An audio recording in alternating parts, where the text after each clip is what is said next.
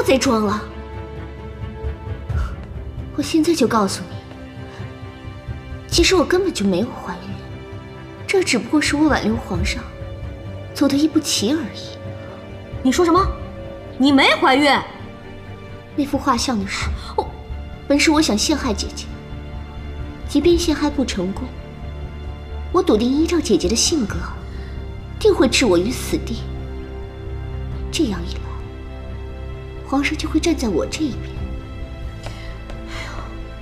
说你傻，你还真的傻。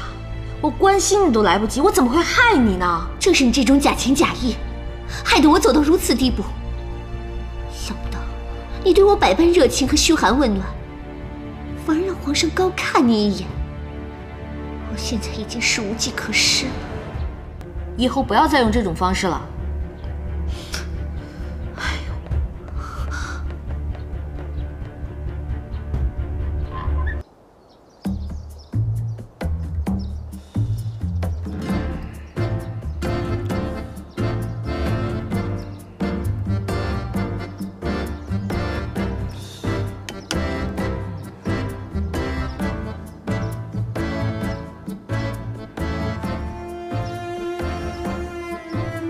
小张，别睡了。喂，张太医，娘娘跟你说话呢。哎，你说咱们什么时候装这个小产比较合适啊？娘娘，娘娘脉象稳定，想必这孩子也是极好啊。别装了啊，你就直接跟我说，咱们什么时候把这个孩子拿掉？啊，娘娘，这孩子是真有了啊！之前臣受张老夫人之托，要称娘娘怀了孩子，但臣上次给娘娘诊脉时，确实发现娘娘有了身孕。娘娘，今天姜氏没了孩子，咱们又有了孩子，这真是双喜临门呐！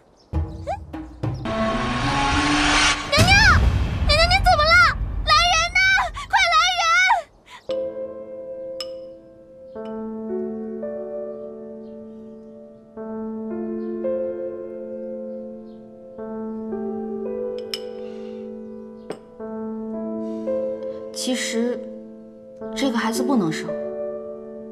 这么说，你是不想和朕共同生养一个孩子？这不是和谁生的问题，而是让我生孩子，我根本就没有那个功能，我我接受不了。你可知道，你这话是大逆不道，生儿育女是你的责任。啊！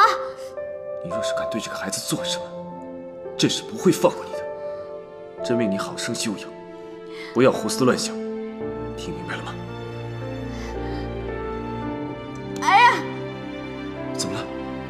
我头疼。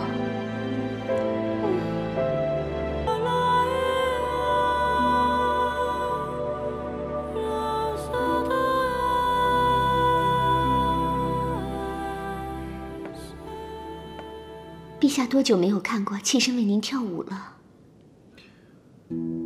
有时候朕在想，把你接入宫里，究竟是对还是错？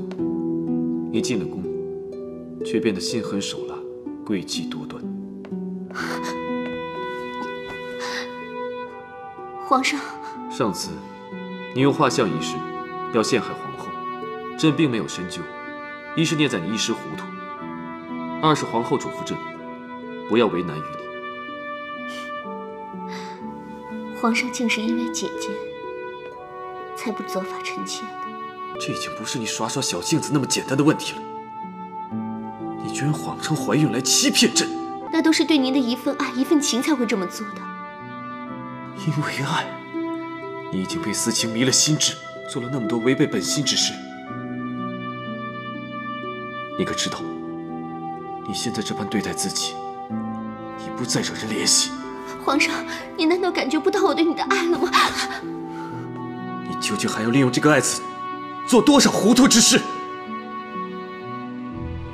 朕一直不喜欢张氏从前的娇蛮，只觉得你比她更大度、明事理、善解人意。